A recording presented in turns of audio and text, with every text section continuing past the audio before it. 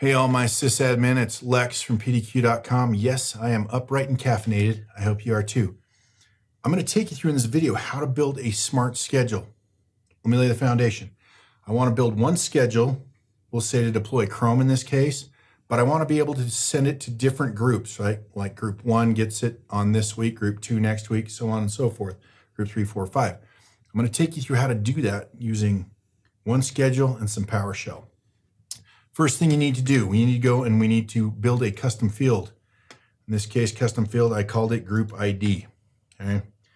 Added that, and then again, you need to populate this. So the machine Bugs Bunny group ID is the group ID is five. Okay. I did this, it's easy to import and export. So basically what I did was I exported a file that had the computer names and then I went and filled out the group IDs that way and then imported it. It was pretty quick. Let me just give you a quick view of what that looks like. Okay. All your custom fields go in the computer table. So there's my group ID. We'll just run this against all computers. You'll notice they've all been part of some group at this point. Second thing we're going to do, we're going to need to build a variable that PowerShell is going to change for us moving forward. So we'll go to options and variables. You'll notice I have group ID one. Now it is case sensitive. You got to spell it right. So group ID one. Okay. In this case, I put a one in there.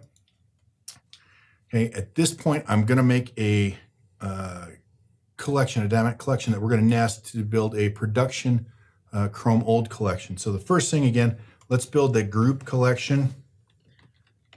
Okay. And we are going to look for all machines where the group ID uh, equals and we're going to go grab that variable that we just built, which is group ID. If I hover, you'll notice group ID is 1 at this point. When I save this, here we go, group ID 1. I've got nine machines in group ID 1. Just to show you how this changes, right, we're going to go to our variables. I'm going to go change that to a 2. Okay, when I exit this, okay, Babbitt Costello should be changing group ID 2. And if you really want to see how this looks, um, it's always good to copy your variable, put it in the description so that you can see what it is there too. Boom. So group ID 2. All right. Now I'm going to build a nested collection because PDQ keeps the collection library up to date. In this case, uh, Chrome old, right? We maintain this for you. So what I'm going to do now is I'm going to build a production one that will point our schedule at that'll take care of the groups and Chrome old. To do this, you're going to build a new dynamic collection. We're going to call this uh, production dash Chrome. Okay, I am going to do this. We are going to put the variable in there so we know that uh, that we know what the group is. Group for this group, right? And then in the computer table, we're going to go add um, collections. So we're going to select collection is a member of, and it needs to be a member of Chrome Old. Internet browsers, Chrome, Chrome Old, okay? And we're going to do that exact same thing, is also a collection or a member of the collection of group, okay? Now, if I give that an okay, Chrome production now has seven machines that are in Chrome Old. You'll notice Elmer Fudd, these guys are also in this, okay? And again, let me just go and do this. We'll just change that variable to see that change. We'll change it back to a one, exit this, get out. Okay, the group ID now has changed to one, and those are the machines that are in Chrome old in that. So at this point, I can now go and build my new schedule off of Chrome, right? Chrome, new schedule. Okay, we'll call this uh, prod Chrome. So This is our production Chrome schedule, right? And now triggers, just our standard weekly trigger, right? We're gonna run this on Friday. We'll do it after hours at say, I don't know, 8 p.m. Okay, targets. We're gonna use that production Chrome that we built. Right down, right down here. It's gonna open up production Chrome. Again, that production Chrome, it's a, a nested collection, again, of both Pro Chrome, production Chrome, okay? Chrome old and part of that group okay?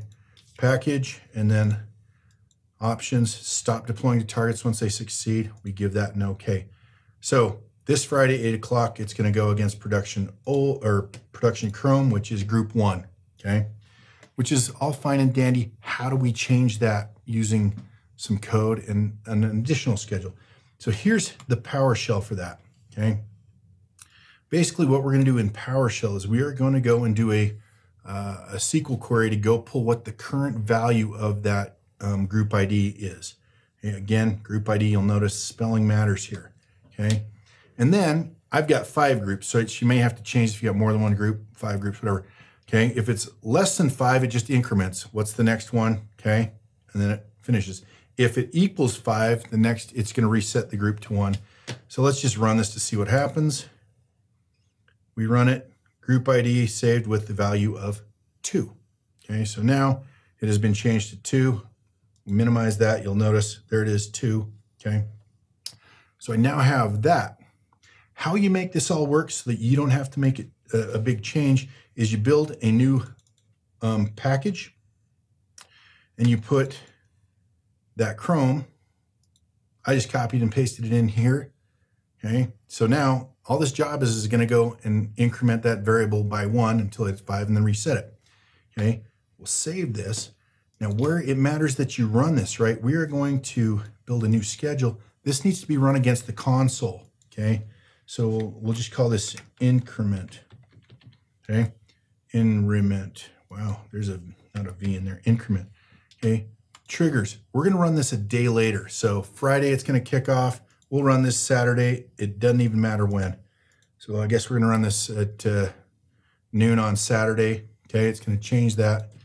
Targets, we're gonna run this against the console. Anytime you use a period, it's gonna run against the, the home machine. There's our package. You do need to make sure this one continues to run. So do not stop deploying to targets once they succeed. Okay. Offline settings, target history. Um, options. The other thing we're probably going to do is this, right? Scanning. Um, do not scan after. We don't need to scan anything after. So we're going to give this an OK. Boom. So when this kicks off, it's going to increment. So at this point, we know Chrome's going to run because you've seen that before.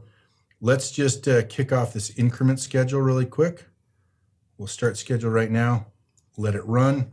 It's going to run. There you go. It's running. Deployments. It's running against this. It's six, it uh, 52. There we go. It's finished. It's successful. We'll go take a look at the log. It has changed it to a value of three. It was at two before.